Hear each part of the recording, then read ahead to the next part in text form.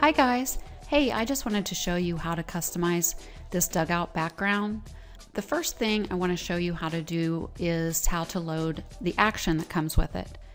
So I'm going to come up to Window, Actions, and your action may come up over here and I'm going to pull it out so that I can show you how to load this. You can load actions by dragging them to your Photoshop workspace but for some reason that never works for me so I want to show you the other way too in case it doesn't work for you. So I come to this little menu right here and I come to load actions and then you're going to need to browse to the download that you purchased and it should have an action in it. So I'm just going to click that and I'm going to click load and there's my action.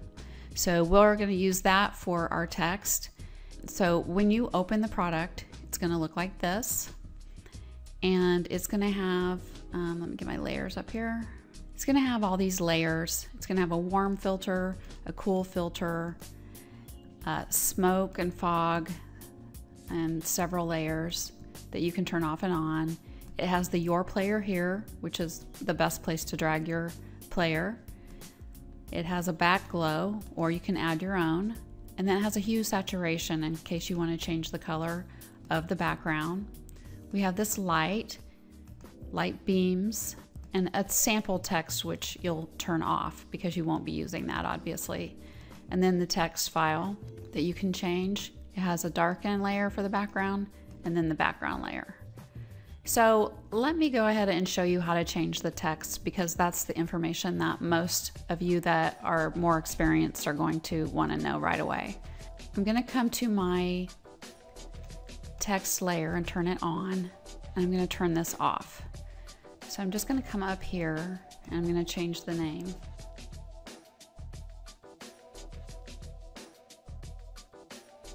Okay, so then all you have to do is come to your action as long as you have this layer selected, which we do, and press this little, oh, you have to come down to this, and you press this little play button, and it's going to place the text for you. And then you can tweak it however you want. Okay, make sure you have auto select layer and show transform controls turned on. Oop.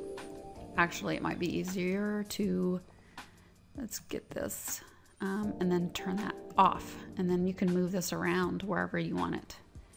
So you can use this for a name or you can use it for a logo. And I'm gonna show you a lot more you can do with it, but I wanted to make sure and show that first. All right, so let's go ahead and customize this more. Another thing I didn't mention about the text is that you can, um, I have another text layer in here as well, and it's just a different font. But I mean, you can change these, get this, to any fonts that you have loaded or want to load. One that I thought might be fun is a graffiti font, and they have a whole section for graffiti fonts at dafont.com. I'm gonna undo this. You might want to make a copy of this so that you have one that is not flattened because the because the action will flatten that layer. But you can change and add, this has a little effects here. You can change the color of this stroke to match the team. If you want it blue, if you want to sample a color. And you can change the size of it oh, let me click OK here. And then you can change the size. You turn it off. You can change all of these. All, there's all kinds of things as usual you can do with text. You can, you know, load your own styles and just have a lot of fun with that.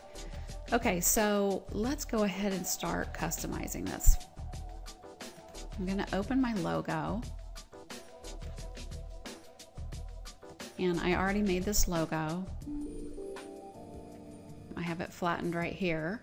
So I'm gonna bring it in. I'm just gonna pull this off to the side and I'm just gonna drag this layer in.